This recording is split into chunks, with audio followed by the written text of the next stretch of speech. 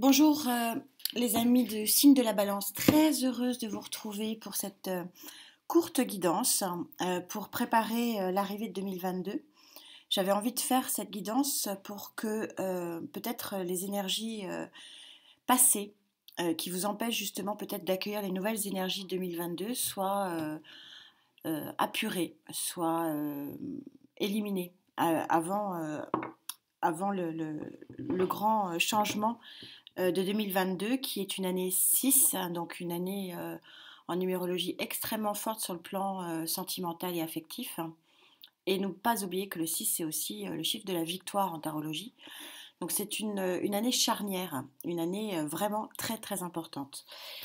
D'où l'intérêt de faire peut-être une introspection hein, avec les jours froids qui arrivent et, peut-être prendre le temps de, méditer un petit peu sur, sur ces énergies ben, qui sont des obstacles finalement pour avancer. Et puis voir aussi euh, ce qui va euh, poindre son bout du nez pour vous sur, euh, sur 2022. Gaïa, s'il te plaît, pour les valences. Quelles sont les énergies qu'il faut faire partir ou laisser partir? C'est un petit peu de la résilience en fait qui est importante euh, sont des, moments qui sont importants de faire régulièrement dans l'année, deux, fois, trois fois, voilà. Euh, un peu de résilience, un peu de lâcher prise. Elle ne veut pas venir.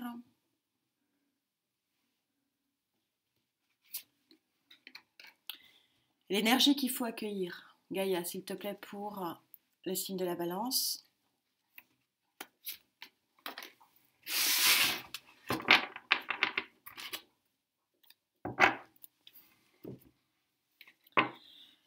Alors, Gaïa vous propose euh,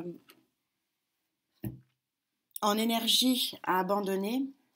C'est une énergie de reine de feu. Euh, c'est très clair et c'est très limpide parce que j'ai des signes très très forts là-dessus. Euh, la reine de feu, c'est une combattante, c'est une personne charismatique. Je vous rappelle que les cartes ne sont pas sexuées, vous adoptez en genre à ce qui vous correspond. Euh, c'est un personnage euh, qui est une euh, qui est toujours dans, dans, le bagarre, qui est toujours dans l'accomplissement des choses, qui est d'un courage absolument fabuleux. mais là, on est en train de vous dire qu'il faut lâcher prise, qu'il faut arrêter d'être guerrier et guerrière, que se battre contre des moulins à vent, bah, c'est du temps perdu. C'est clairement le message de cette carte en énergie qu'il faut lâcher. Euh, une énergie où on se bat euh, seul, c'est une énergie qui, est mal employée. Alors on va voir ce que Gaïa euh, peut vous donner comme aide par rapport à ça. C'est intéressant que vous ayez en énergie qui arrive cette énergie-là. Vous voyez que c'est un moment très important pour vous, amis Balance, parce qu'on est sur, une, sur un arcane majeur. On est sur l'arcane euh, numéro 19, c'est-à-dire du 9 plus 1, 10, donc fin d'un cycle aussi. Donc vous êtes à la fin euh, d'une guerre. Alors peut-être que cette guerre, c'est surtout une guerre contre vous-même. On voit ici euh, quelque chose de sombre et que le travail, travail effectivement, est en train de payer puisque vous voyez que on a les éléments ici qui arrivent sur, euh, quelque chose d'équilibré. Euh, je ne sais pas si vous voyez, vous avez un pentacle là, euh, en forme de cœur. Vous avez des éléments qui arrivent, les éléments de feu qui arrivent, la lumière qui arrive. Donc voilà, c'est arrêter le combat. Arrêter le combat parce que l'équilibre est arrivé ou va arriver. Et donc vous allez pouvoir profiter de quelque chose, d'une lumière, d'une autre lumière, d'une autre d'une autre sensation. C'est un sacré tirage, on va évidemment euh, essayer de, préciser tout ça, s'il vous plaît mes guides, pour les balances. Alors cette énergie de guerrier, guerrier, guerrière qu'il faut euh, que vous abandonniez euh, cet esprit, je, je, je, maintiens le cap absolument, c'est épuisant.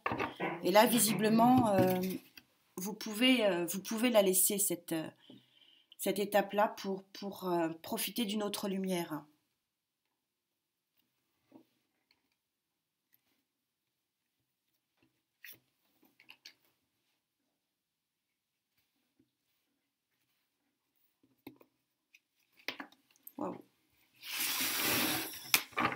C'est très, très puissant chez vous, ami Balance.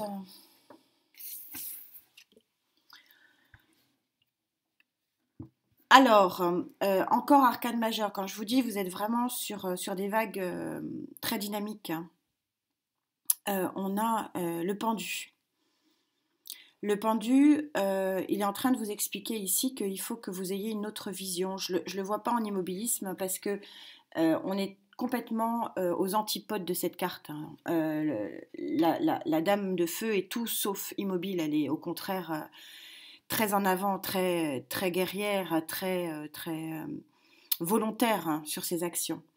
Donc là, le pendu, je vais le prendre vraiment, et en tout cas, c'est ce qu'on me dit très fortement euh, bon, au, niveau, au niveau de mes guides, hein, c'est que il faut que certains d'entre vous prennent un autre départ pour une autre vision des choses. Le pendu, c'est pas uniquement l'immobilisme, c'est aussi le fait de voir les choses, avoir la tête à l'envers, c'est aussi avoir un autre regard sur ce qui nous entoure. Et euh, on est super synchro aussi là. Merci euh, à eux d'être là euh, pour nous aujourd'hui parce que on voit très bien que, ce, nouveau regard va vous permettre effectivement d'accueillir un nouvel équilibre émotionnel. Hein, c'est ce que dit Gaïa dans cette, dans cette carte. On a le 10 d'épée qui me prouve encore une fois que vous êtes, un, sur une fin de cycle, et deux, que pour certains d'entre vous, vous êtes épuisé d'avoir combattu, combattu, combattu. Et vraiment, ce qui me vient et ce qu'on me dit hein, très fortement ici, c'est euh, vraiment se battre contre des moulins à vent. C'est-à-dire qu'on ne peut pas tout, on n'a pas maîtrise sur tout. Et, à vouloir maîtriser tout, on s'épuise. Euh, et donc là, on est en train de vous dire qu'il y a des éléments chez vous euh, qu'il faut arrêter de combattre dans votre environnement probablement ou uniquement pour vous-même pour vraiment accueillir un nouvel équilibre et une nouvelle lumière. Les énergies sont vraiment extrêmement puissantes ici. On va voir sur une troisième ligne si on peut préciser tout ça. S'il vous plaît, mes guides, précisons ces messages, ces énergies pour les balances. Donc ce lâcher prise, avoir un autre regard, nouveau regard, on me dit, sur votre vie, sur les gens qui vous entourent.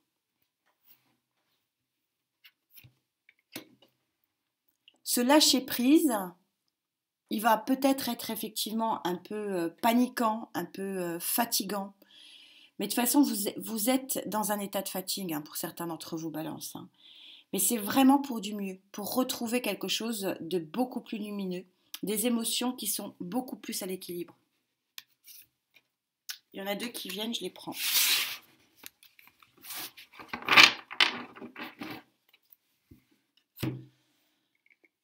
Alors, sur ce que vous devez lâcher, c'est encore Arcane majeur, vous avez euh, des vraiment, je vous dis euh, souvent, euh, et j'essaie de faire des guidances régulières sur, sur ce qu'il faut que vous lâchiez, sur le travail que vous devez faire.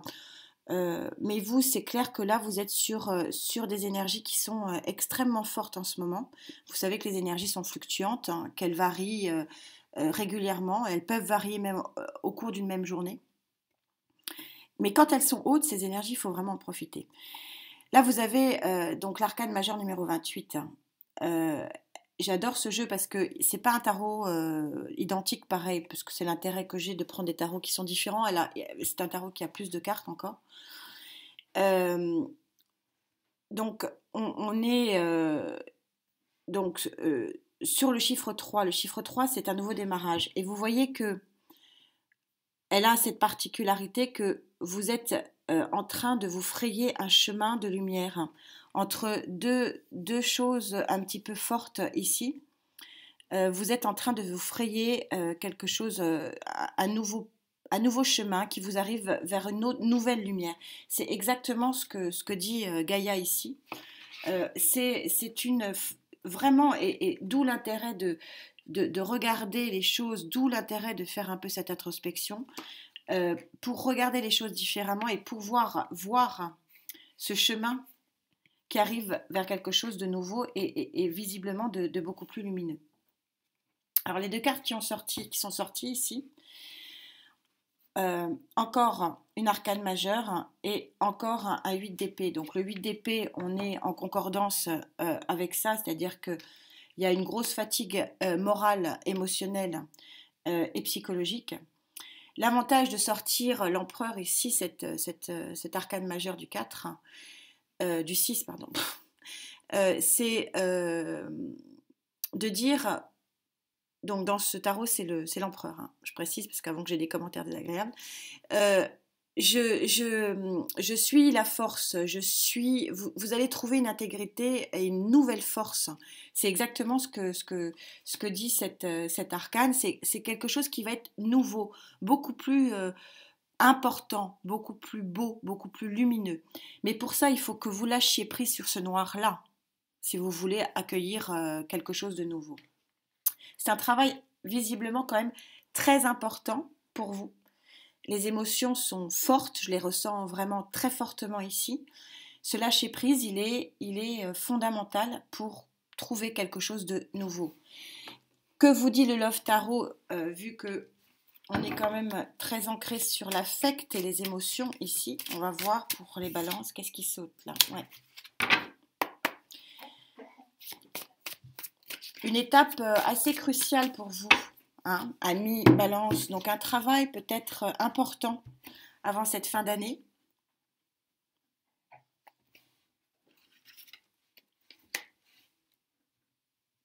Très grosse énergie, gros changement ici. Hein.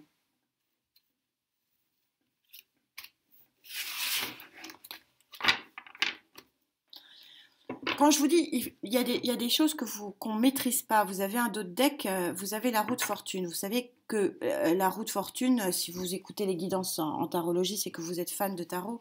Vous savez que la route fortune, ce sont quand même des éléments. Alors oui, on a notre libre arbitre et oui, c'est nous qui créons notre vie et, fort heureusement. Mais néanmoins, il y a des moments dans la vie où effectivement on peut avoir des coups de pouce de l'univers. Et c'est un peu ce que dit ce, ce deck avec la roue de, la route fortune, c'est que là, il y a, des rails qui sont, euh, qui sont mis pour vous et qui sont visiblement bien meilleurs et, il faut que vous les acceptiez. Le, cavalier de denier, pour ceux qui me suivent, vous savez que euh, je ne suis pas fan du cavalier de denier parce que euh, même si est positif, globalement positif, même si, et merci de me suivre, vous savez que j'aime bien rappeler que chaque carte chaque arcane a son pendant positif et son pendant négatif. Pour autant, euh, le chevalier de, denier, il est lent. C'est le seul cheval à l'arrêt. Et donc, les choses qui arrivent sont bonnes, mais sont lentes. Et en fait, associé à, cette ligne-là, euh, ça dit euh, vraiment quelque chose d'assez puissant. En tout cas, c'est très puissant là dans mes ressentis c'est que vous avez beaucoup, beaucoup, beaucoup œuvré euh, et que vous avez mis beaucoup, beaucoup, beaucoup de temps. Moi, je pense que ça se passe en années à pouvoir aujourd'hui lâcher prise et avoir une sorte d'acceptation des choses. Et que quelque part, il faut en profiter. Parce que euh, il y a des très très jolies choses ici qui, viennent à vous et, des propositions qui sont euh, vraiment lumineuses. Encore arcane majeur du chariot. Euh, non, pardon, arcane majeur euh, du jugement, de la justice. Je vais y arriver. Euh, ça veut dire que on est sur un futur nouvel équilibre. Donc ça vous est dit deux fois avec des arcanes majeurs. Futur équilibre. Mais pour pouvoir toucher cet équilibre, il va falloir en passer par deux phénomènes importants, et on est tout à fait raccord hein, avec, euh, avec les tarots. Nouveau regard et abandon total de quelque chose du passé qui visiblement vous a fait énormément souffrir. C'est un très joli tirage, très prometteur, ami Balance. En tout cas, moi je vous propose euh, cette petite euh, ce petit chemin d'introspection si vous le souhaitez. Bien sûr, euh, on se retrouve très rapidement pour les guidances de décembre, hein, pour, dans un premier temps, et bien sûr la projection de 2022, qui, qui, qui, va être vraiment très importante au vu des énergies ici. En tout cas, prenez soin de vous. Je vous rappelle que la santé, c'est vraiment le plus important. Merci d'être là. Merci pour tout ça. Ce sont des très belles énergies. Je vous souhaite le meilleur. Namasté.